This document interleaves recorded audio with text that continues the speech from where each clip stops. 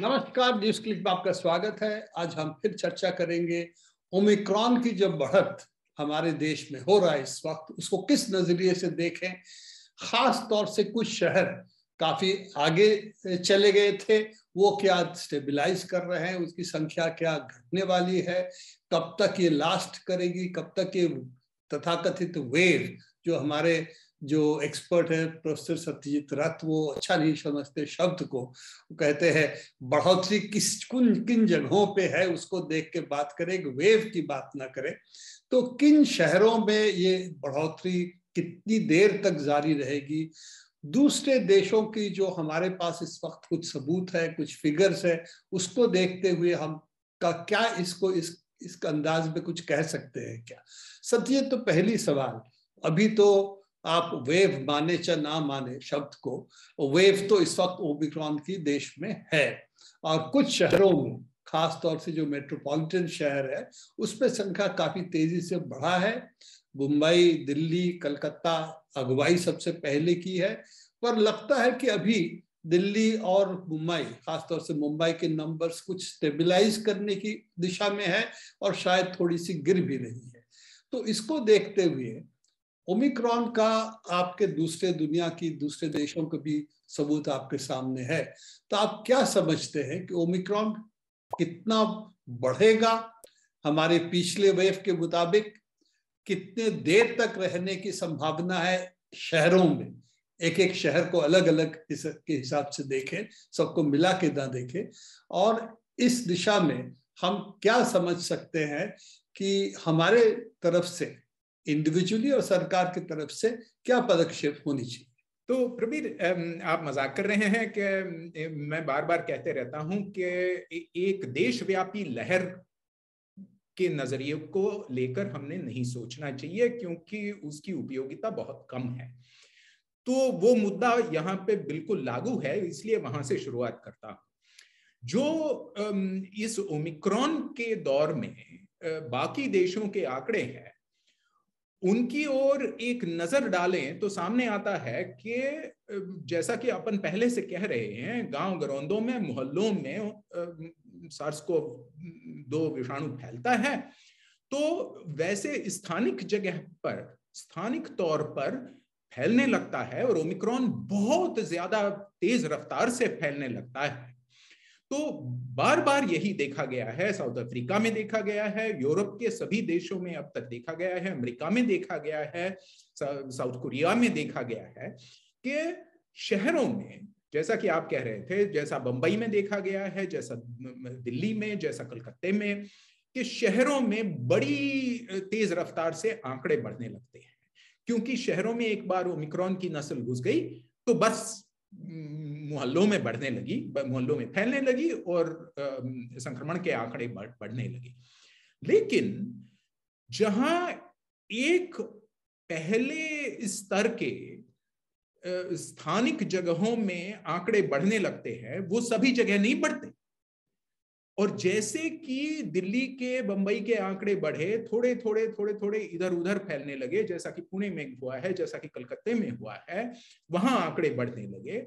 इसी तरीके से ये एक देशव्यापी लहर नहीं है, ये कई लहरें हैं। ये स्थानिक लहर एक जगह बढ़ती है, जैसे वो थमने लगती है, वहाँ से संक्रमण होके फैल के और जगहों में बढ़ने लगती है।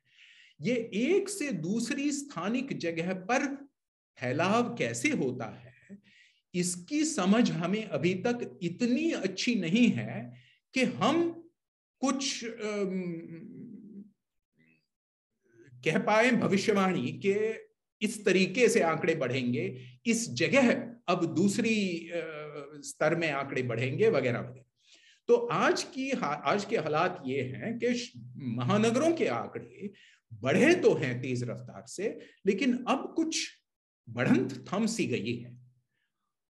और अगर बाकी देशों के अनुभव को सामने रखें तो इस बढ़ंत के थमने के बाद बढ़ंत आंकड़े कम होने लगेंगे। ये हुई एक बात महानगरों की, लेकिन इस दौरान महानगरों से बाकी आसपास के इलाकों तक ओमिक्रॉन की नस्ल कितनी पहुँची है? और वहाँ स्थानिक तौर पर कितना संक्रमण शुरू हुआ है और उसके परिणाम में वहाँ के आंकड़े उसी रफ्तार से कैसे बढ़ेंगे, कब बढ़ेंगे, कितने बढ़ेंगे, ये देखने वाली बात है। तो ये एक जगह से दूसरी स्थानिक जगह जाने वाली लहरें हैं, एक लहर नहीं और इस नज़रिए से अगर देखें तो स्थानिक कोविड के रोकथाम के लिए जो नीतियाँ बनानी है, वो नीतियाँ भी स्थानिक नीतियाँ होनी चाहिए। देशव्यापी नीतियाँ नहीं होनी चाहिए क्योंकि उनके कोई मायने नहीं है। बार बार जो एक देशव्यापी लहर को लेकर मैं चिंतित होता हूँ, वो इसलिए होता हूँ। इसलिए नहीं कि शब्द पांडित्य की बात है, क्योंकि इसलिए कि स्थानिक तौर पर नीतियाँ बननी चाहिए, ना कि देशव्यापी या राज्यव्यापी स्तर पर बननी चाहिए। ये आपकी बात बिल्कुल सही है कि स्थानिक नीतियाँ होनी चाहिए। और लोकल सेल्फ गवर्नमेंट बॉडीज जो है लोकल बॉडीज जनता की जो बॉडीज हैं रिप्रेजेंटेटिव बॉडीज उनको कैसे इन्वॉल्व करके हमारी पब्लिक हेल्थ पॉलिसीज़ बननी चाहिए, वो हमारा अभी भी इस पर काफ़ी खामियाँ है। और यही चीज़ जो है, ऊपर से थोपी जाने की बात होती है, ऊपर से बहुत सारे ऐसे नीतियाँ थोपी जाती है, जैसे दिल्ली शहर में कर्फ्यू की घोषणा होती है कि रात पे लोग बाहर ना निकले घर से। अब ये तो ठीक है, समझ में आती है कि जहाँ पर कुछ दंगे चल रहे हैं, वहाँ पर ऐसी नीति आप करें। पर कोविड ओमिक्रॉन तो रात में नहीं घूमती ज़्यादा, इसीलिए इस, इन, इस तरह के पब्लिक हेल्थ पॉलिसीज़ की कोई मायने नहीं है। पर इसके छोड़ के अगर हम इस बात पे आते हैं, जो देशव्यापी लहर ना करे कहें, पर देशव्यापी संख्या जो है, उसको अगर हम अमेरिका को देखें यूरोप को देखें तो इसमें लगता है कि इस बार संख्या हमारी, जो पिछले बार चार लाख तक पहुँच गई थी, उससे काफ़ी बढ़ने की भी संभावना है। डब्ल्यू ने घोषणा किया है कि वेस्टर्न यूरोप में हो सकता है जो करीब आधे जनता, पता नहीं कहाँ उनकी ये भविष्यवाणी कहाँ से आई, आधा जनता शायद ओमिक्रॉन की शिकार बन सकते हैं। और हमारा देश की अगर पूरी पॉपुलेशन को देखें तो वेस्टर्न यूरोप से कम नहीं है, थोड़ा ज़्यादा ही है। तो ये आधा शब्द जो है, बड़ा खौफनाक है, बड़ा डरवा डरावने तो आपको क्या लगता है, इसकी, इस तरह की कोई भविष्यवाणी के खास माने है, या ये सिर्फ़ हवाई बात है इस वक्त? जी उसमें खैर, बिल्कुल हवाई बातें तो नहीं है, लेकिन बिल्कुल अचूक नज़रिए से इन आंकड़ों को भी हमने देखना नहीं चाहिए। लेकिन मैं दो बातें कहना चाहूँगा इसको लेकर। एक बात, फैलाव के रफ्तार की है, जो अभी अपन कह रहे थे कि ये एक लहर नहीं है। पश्चिमी यूरोप को लेकर एक लहर नहीं है। यहाँ तहां, जहाँ तहां जो छोटे छोटे स्थानिक विस्फोट हो रहे हैं, उन विस्फोटों के फैलाव की रफ्तार की बात है। तो उसमें अगर हमारे देश में एक जगह से दूसरी जगह विस्फोट का फैलाव धीरे हो तो फिर किसी एक दिन देशव्यापी आंकड़े बहुत बड़े नहीं होंगे, लेकिन कई हफ्तों, महीनों तक ये फैलाव, ये संक्रमण जारी रहेगा। लेकिन एक विस्फोट से दूसरे विस्फोट तक जाने का समय अगर बहुत कम हो गया तो फिर साफ़ है कि देशव्यापी आंकड़े यकायक बढ़ने लगेंगे। लेकिन पूरे देश में संक्रमण का अवधि थोड़ा कम हो जाएगा।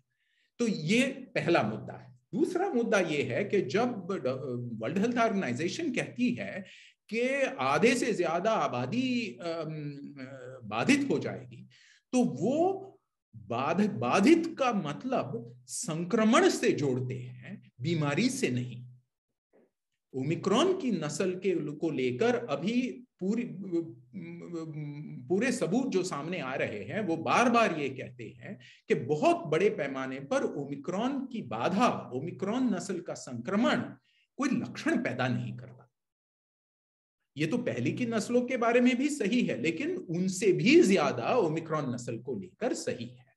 तो इसलिए यूँ नहीं है कि आधी जनता अस्पतालों में दाखिल होगी। यूँ है अस्पतालों में बाद में आ रहा हूँ। अभी तो सिर्फ़ संक्रमण की बात कर रहा हूँ। है कि संक्रमण आधी जनता में चंद हफ्तों महीनों में फैल सकता है। और वो उतनी डरावनी बात नहीं है जितनी डरावनी अपन सोचते हैं जब अपन संक्रमण को बीमारी के बराबर मानते हैं वैसा ना माने। तो पहले की भी जो आंकड़े थे कि करीब पाँच छह गुना शायद एसिम्टोमेटिक केसेस थे सिर्फ़ ट्वेंटी परसेंट फिफ्टीन परसेंट ही केसेस ऐसे हैं जो कि लक्षण पैदा कर रहे थे। ये तो पहले की भी आंकड़े है। आप कह रहे ओमिक्रॉन में शायद ये और ज़्यादा है कि ज़्यादा एसिम्टोमिक एसिम्टोमेटिक केसेस हैं। पर इसको अगर देखें, अमेरिका का केस अगर देखें आप तो उस पर हम देख रहे हैं कि पहले से काफ़ी ज़्यादा इन्फेक्शंस बढ़े हैं। करीब पिछले जो उनकी वे भी मैं कह रहा हूँ संक्षिप्त करने के लिए, इससे इस वक्त की पीक जो है, उससे काफ़ी ज़्यादा आगे जा रही है।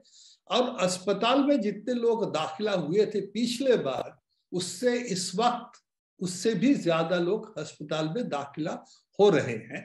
मतलब संख्या अगर बहुत बड़ी बढ़ जाती है पिछले पीक के मुताबिक तो अस्पतालों में जितने लोग दाखिला होंगे, उनकी संख्या भी बढ़ेगी। हालाँकि 100 प्रतिशत में उनकी संख्या शायद कम होगी पिछले बार से, ये बात सही है। पर अगर 200 हो जाती है फ़ीसदी पिछले बार की अपेक्षा में तो अगर वो आंकड़े आते हैं हमारे सामने तो संख्या काफ़ी बढ़ेगी। अभी भी हमारे यहाँ अस्पताल में दाखिला इतनी तेज़ी से नहीं बढ़ रहा है, चाहे दिल्ली हो, चाहे मुंबई हो, चाहे कलकत्ता हो, पर एक बात है, हमने ये भी देखा है कि पिछले बार सीरियस केसेस होते हैं करीब दो हफ़्ते बाद, और मौत के आंकड़े बढ़ते हैं, उससे भी दो तीन हफ़्ते बाद। तो इसीलिए अभी भी जिसको कहते फिंगर्स क्रॉस्ड पर अमेरिका में वो लैग दिखने को मिल रहा है और उसके साथ साथ अस्पताल में दाखिला भी काफ़ी तेज़ी से बढ़ रहा है।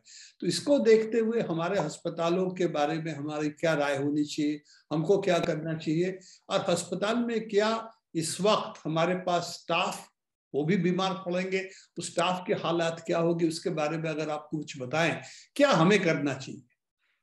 तो दो तीन मुद्दे इसमें सोचने लायक हैं प्रवीण। पहली बात यह है, जैसा आपने कहा कि आमतौर से ओमिक्रॉन के संक्रमण से बीमारी वैसी सौम्य होगी, लेकिन फिर भी अगर संक्रमण के आंकड़े बहुत ऊँचे चले गए तो अस्पतालों में दाखिल होने वालों की संख्या बहुत बढ़नी है। इसमें तो कोई शक नहीं है।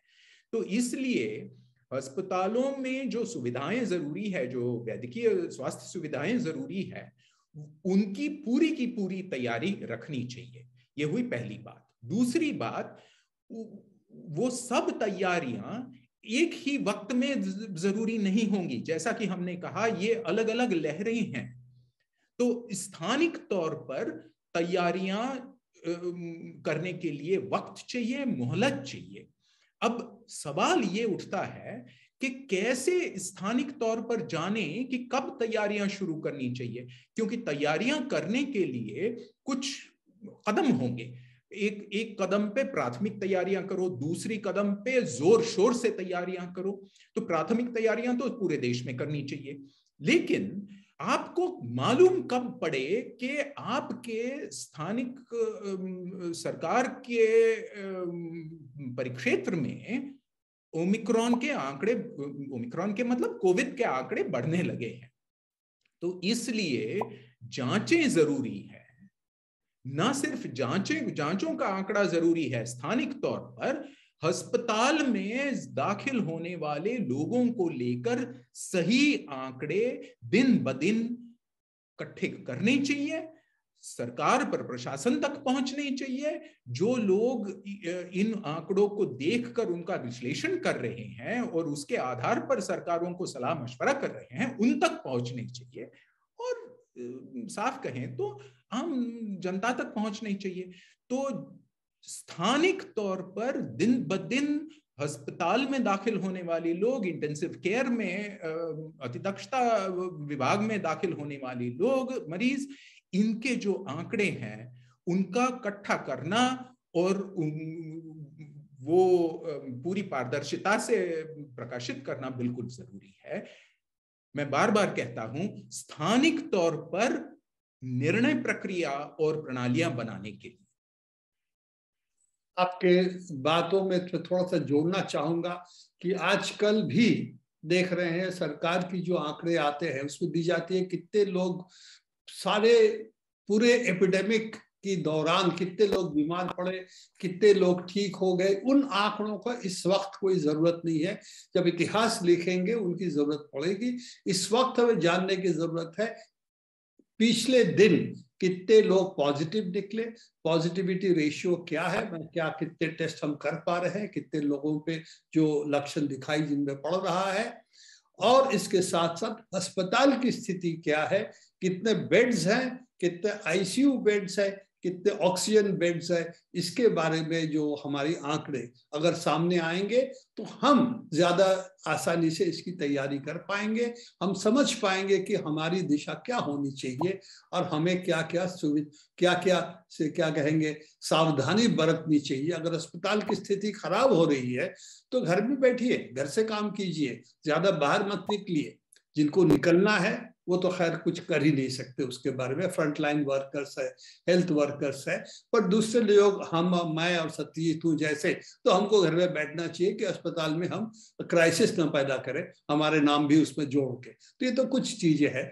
इसका आखिरी सवाल आपका खत्म करने के पहले, ये फिर एक वो Sutra model DST super model के नाम से पिछले बार था, अब उसको नया नामकरण सूत्रा मॉडल करके पेश किया जा रहा है तो वही मॉडल तो इसके बारे में भी जो ये कह रहे हैं कि इस दिन तक ये कम हो जाएगा, ये हो जाएगा, इसके बारे में हमको क्या कहना है? क्योंकि ये सब मॉडल्स ज़्यादातर जगहों पे जो इस्तेमाल कर रहे थे, वो अब चुप पड़ गए इसको देखते हुए कि मॉडल की प्रिडिक्शन मॉडल की जो भविष्यवाणी है, कहीं भी सही नहीं निकलता है, क्योंकि सिर्फ़ एक हफ़्ता, दो हफ़्ते की सिर्फ़ हम एक डायरेक्शन बता सकते इससे ज़्यादा कुछ बता नहीं पा रहे।